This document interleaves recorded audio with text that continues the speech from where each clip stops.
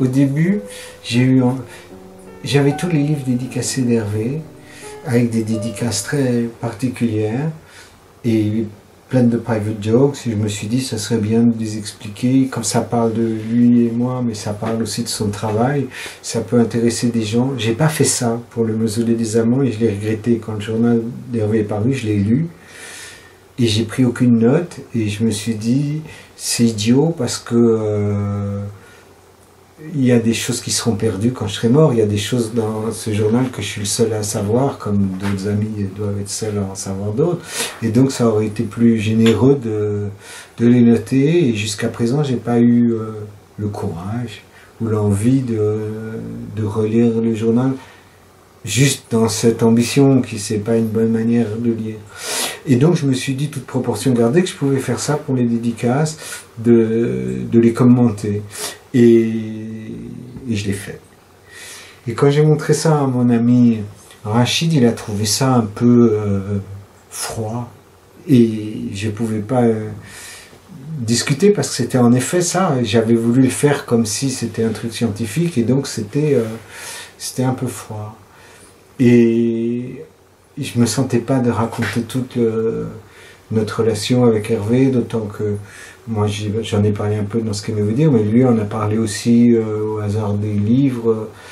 Mais en parlant avec euh, Rachid qui est allé euh, à la Villa Médicis aussi, il, m'a dit pourquoi tu racontes pas ces, années de la Villa Médicis avec ce truc très particulier que Hervé a été pour deux ans, il est arrivé un an avant moi, donc on a été un an pensionnaire tous les deux.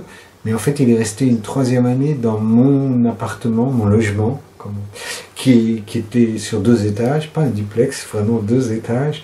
Et donc on a passé sa troisième année ensemble, ce qui, était quand même euh, quelque chose de très particulier. Il est mort, euh, il est mort 15 mois après notre retour.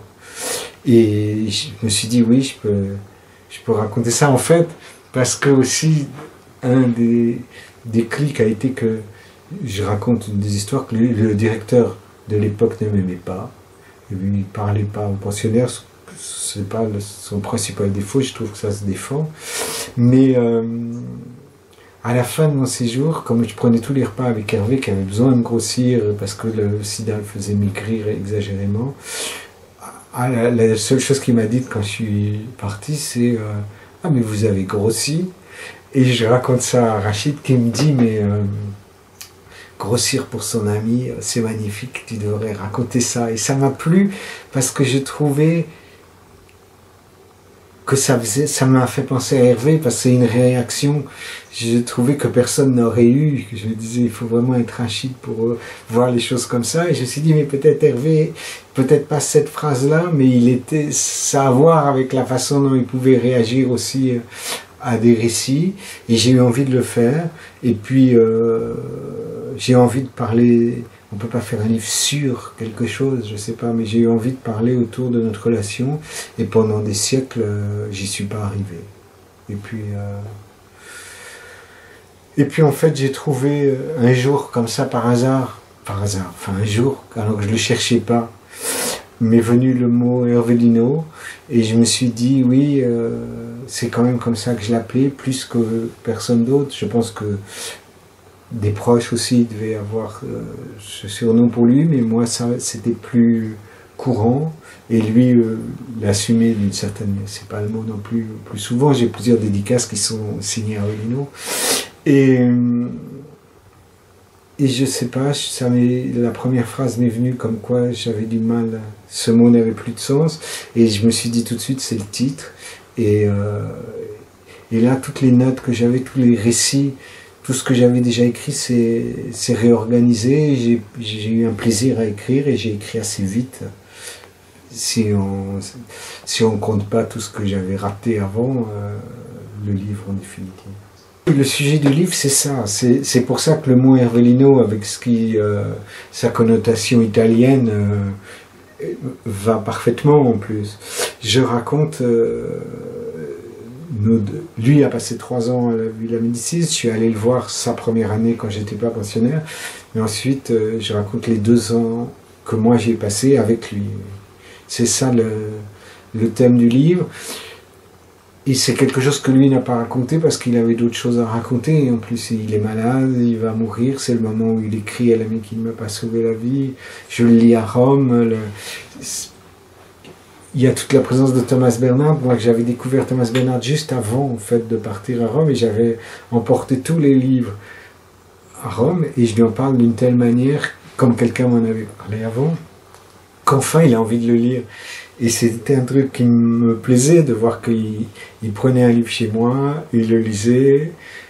Il habitait la première année de l'autre côté du, parc de la villa. Et euh, il le rapportait, il en prenait un autre et tout. Et je ne savais pas que pendant ce temps-là aussi, il a écrit à l'ami qui ne m'a pas sauvé la vie, et que Thomas Bernard est devenu un personnage stylistiquement important du livre à un moment. Mais quand je l'ai découvert aussi, ça m'a amusé. Mais c'est. Euh, oui, c'est vraiment ces années-là et ça a été un changement malgré tout dans notre relation parce qu'on se voyait beaucoup, mais pas à ce point que là on passait, on déjeunait, on goûtait, on dînait ensemble tous les jours. Où on y était, on y passait la moitié de l'année en gros. Et euh, il y avait aussi, quelque chose de ludique, ne serait-ce que le fait de goûter, qu'on avait quand même 30 ans passés, qui est pas si banal. Et, et quelque chose de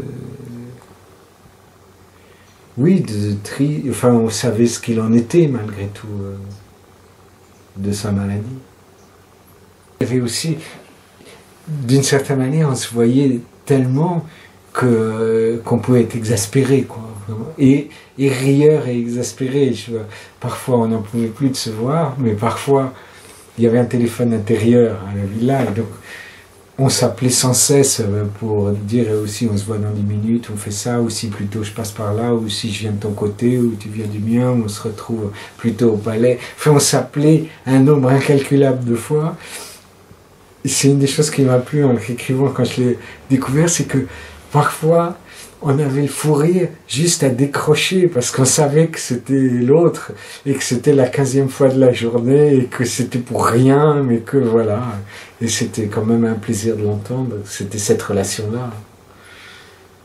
C'est-à-dire que Hervé avait publié l'Incognito où il racontait d'une façon, pour le coup, camouflée euh, les histoires épouvantables qu'il pouvait y avoir euh, et le secrétaire général avec qui il s'entendait pas du tout, mais qui avait été viré quand je suis arrivé, il s'en était un autre.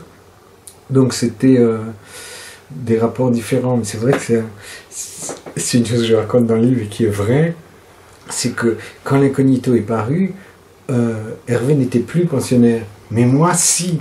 Et lui, il était toujours à Rome et pour éviter que les gens se vengent sur moi, j'avais fait courir le bruit, comme il racontait sa première année dans l'incognito, qu'il aurait un deuxième tome où il racontait sa deuxième année pour que les gens se tiennent à carreau, ce qu'ils ont fait. Mais c'est surtout, il est paru très peu de temps après, euh, à l'ami qui ne m'a pas sauvé la vie, qui a changé euh, le rapport avec euh, Hervé gens, le rapport des gens avec Hervé, dans la mesure où si le sida pouvait être lu, si on le savait plus ou moins dans l'incognito, euh, là c'était complètement explicite évidemment.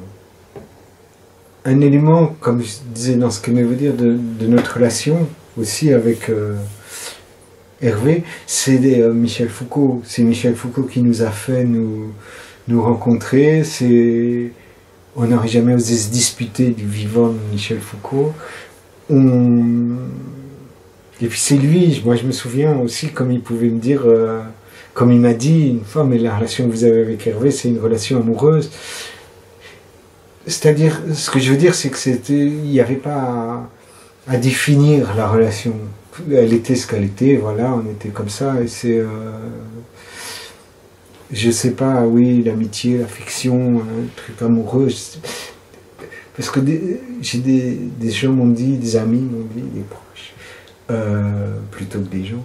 Le, parce que dans ce qui m'est. veut dire, je parle comme d'une relation un peu d'amitié amoureuse, comme si les choses étaient euh, implicite, alors que quand on, voit les dédicaces, on trouve que c'est tout à fait explicite en réalité. Mais comme elles sont aussi rieuses souvent, comme c'est, je sais pas, comme je me posais pas la question et que je me la pose pas toujours d'ailleurs, euh, c'est pas cet élément, la définition qu'on peut donner de, notre relation me m'intéresse pas, c'était notre relation, voilà, et on était comme ça, et, et ça m'a plu de le raconter, d'essayer de le raconter. Et il écrit énormément, oui. Il adore être là et il écrit énormément. Comme un malade, comme je dis. Il écrivait comme un malade le matin. En plus, déjà, je savais quand, on avait chacun notre logement, mais quand il a habité dans le mien, euh, je voyais bien. Il écrivait tout le temps. Et je sais pas, c'est un. Ça a persisté au demeurant, c'est un courage étonnant qu'il a eu jusqu'à jusqu'à la fin. Cette. Euh, ça me met, comment dirais-je, quand maintenant j'entends des, des écrivains souvent à la radio ou à la télévision ou même dans des entretiens dire oui pourquoi, pourquoi vous avez écrit tel livre, je dis oui il y a une nécessité euh, genre qui a fait que je suis pas allé à tel dîner ou que j'ai raté euh, le match entre telles équipes. Je me dis euh, j'ai vu Michel Foucault mourant, écrivant, j'ai vu Hervé voilà une nécessité. Personnellement, dans l'état où je suis actuellement, jamais j'oserais employer euh, le mot nécessité pour justifier euh, un de mes livres. Quand j'ai vu des, êtres pour qui, oui, il y avait vraiment une nécessité vitale. Hervé, je le rencontre en 1978. Il y a une période bénie de ma vie, en 1978, moi qui suis hyper solitaire, connais personne, qui ai très peu d'amis. dans l'été 78, euh, je rencontre euh, Gérard qui deviendra mon meilleur ami comme Hervé. Je rencontre Hervé et je rencontre Michel Foucault. Dans l'ordre, Gérard, Michel et Hervé. Et tous trois, c'est pour ça que je dois dire aussi, quelquefois il faut dire du bien de son éditeur, que le fait que les éditions POL republient le livre de Jim Courage, euh, que j'ai publié en 86, ça me touche, vraiment ça me touche, parce que c'est un livre aussi qui, a changé ma vie, par qui j'ai rencontré... Euh, sans qui ma vie sentimentale depuis 1986 aurait été entièrement différente. C'est un livre que j'ai écrit pour Gérard, à qui j'ai donné ce nom, de Jim Courage, que j'ai pu écrire après la mort de Michel, parce qu'il est aussi dans l'atmosphère baignée de la mort de Michel. C'est le livre de moi qu'il a eu l'occasion de lire que Hervé a préféré sans commune mesure, où il disait c'est le livre que chaque ami devrait dédicacer à son ami, et vu ce qu'a été la suite de ma vie, ça s'est tellement révélé juste, et ça dit quelque chose aussi de notre relation. J'ai rencontré des êtres primordiaux de ma vie dans les années suivantes grâce à ce livre. Alors euh, c'est comme si cette année, cette période bénie de, de 1978, cet été 1978, s'était prorogé euh, dans ma vie grâce à ce livre. La trame narrative de Jim Courage est assez maigre.